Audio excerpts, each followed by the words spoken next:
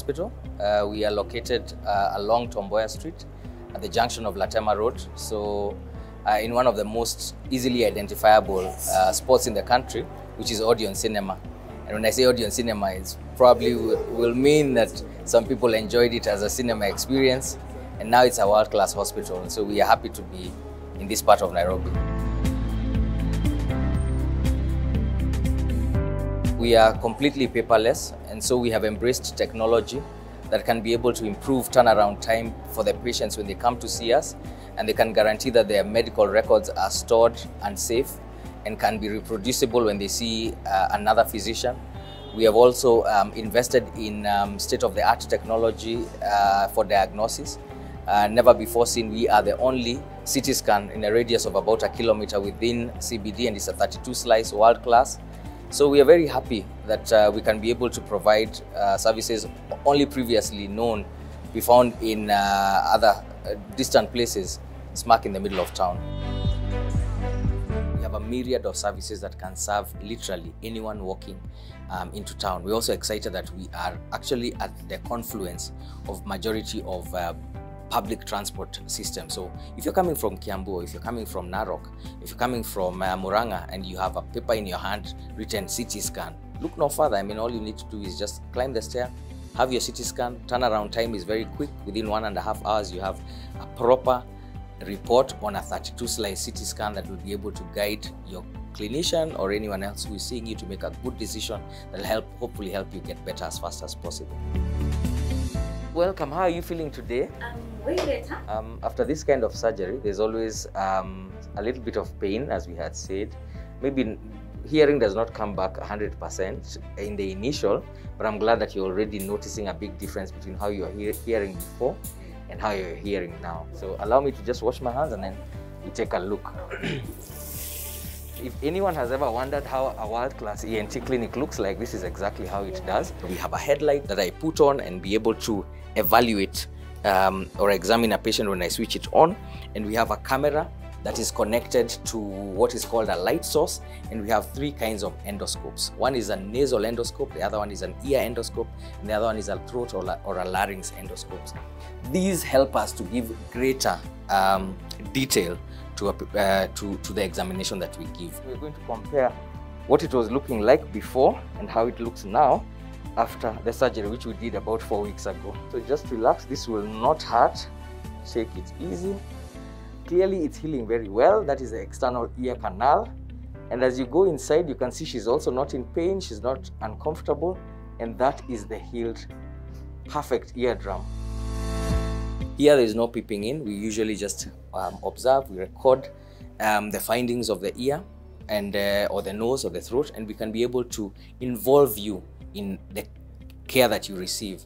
And because you have an image of the disease that is affecting you, then you're better able to also evaluate how your treatment is going and when you are recovered or not, be it medical treatment or surgical treatment.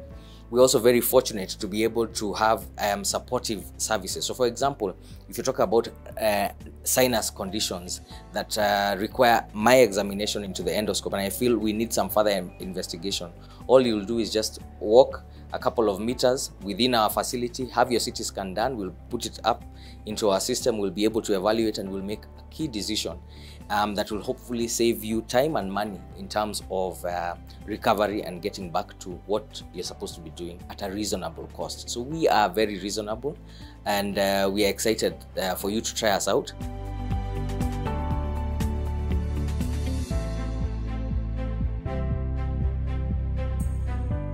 We are also happy to be part and parcel of a lot of corporate insurance panels that you can be able to um, utilize for your services when you come to visit us.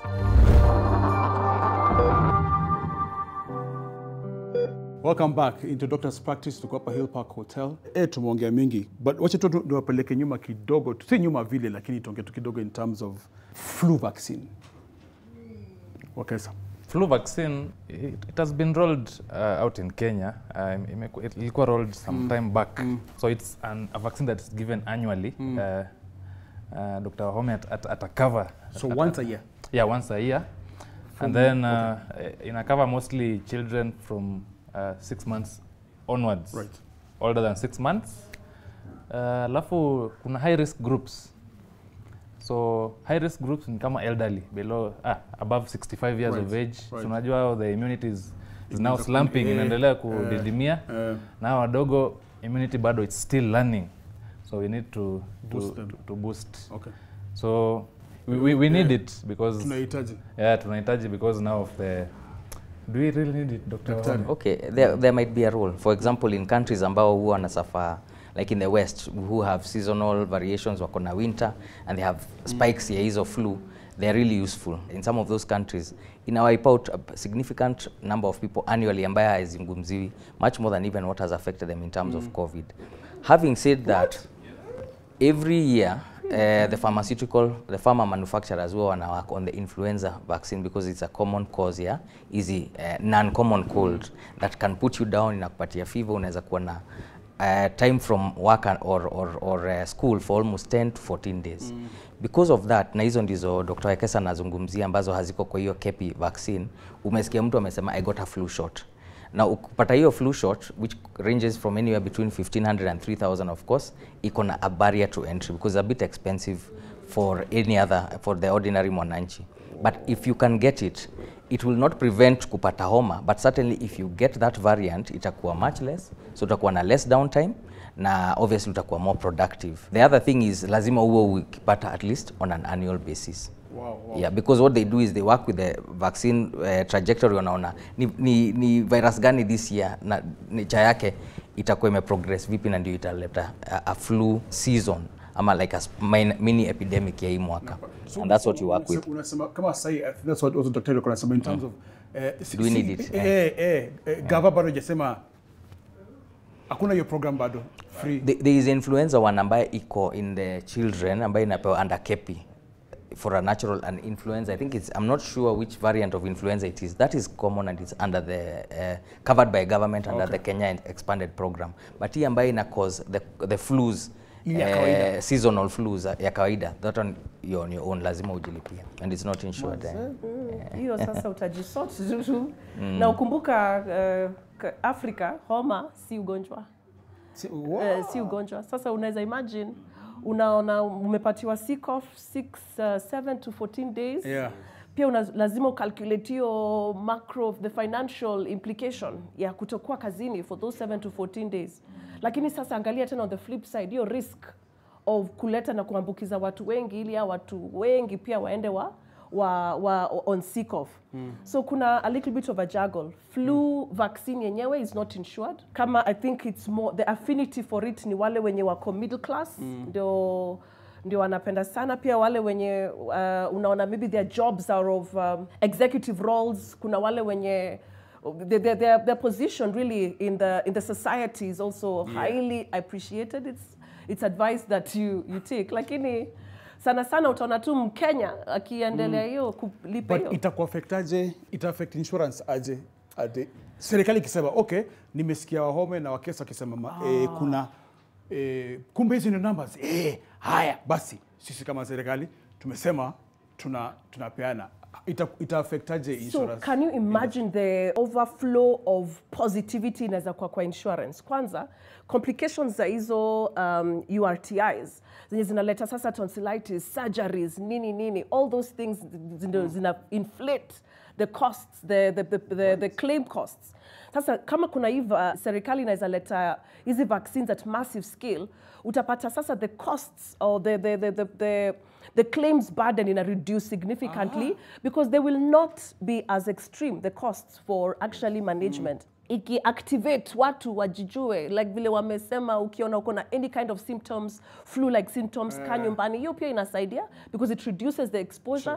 Kuna wale who react very differently to this different kind of flus. Kuna wale it extend to um, uh, it requires now more expensive antibiotics etc mm. so tukiweza kuzicab at vaccine level to the point where tuseme kama serikali haiwezi issue it at um, 100% can they subsidize ili watu waanze kuipata.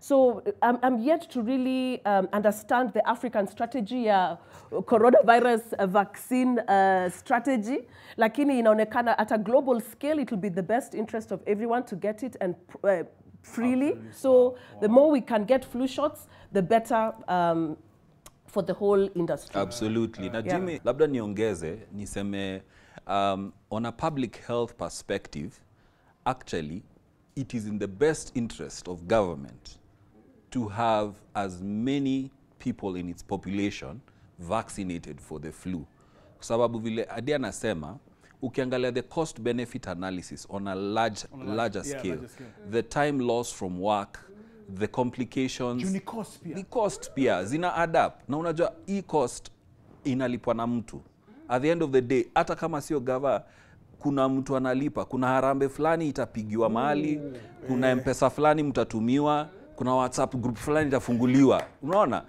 Hiyo hizo surgery za rheumatic heart, heart disease they, they're not very they're not, they're not not cheap, cheap, yes. na ukizi expand to a macro scale then you need to see you begin to see that uh, actually there is more benefit vaccinating a larger population.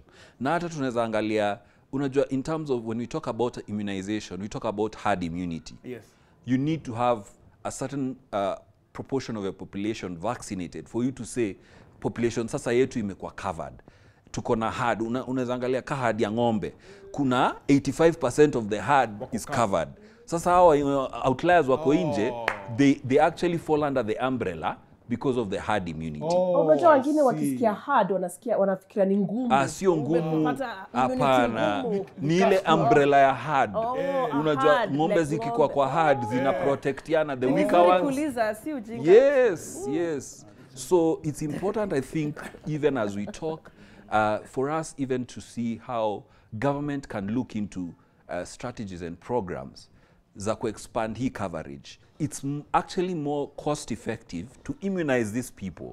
So tunaweza anza na the under fives five years and below na the over 65s tuseme let's, mm. let's start with this Yes. block and then move in pole pole. Pole. and i know donors will come in as But, they see the initiative. kabisa nataka eh, uingie hapa.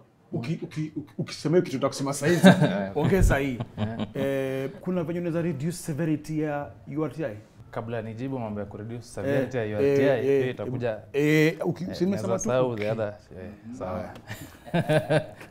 so uh, nilikuwa nataka kuaddress about the high risk groups. So the high risk groups tuko na madaktari. Au unajua ndio wanapata watoto uh, wakiwa outpatient department. Mm. wewe ndio unafungua mdomo hivi unaangalia unasema eh, naona tonsil in, in, eh. infected kuna spots.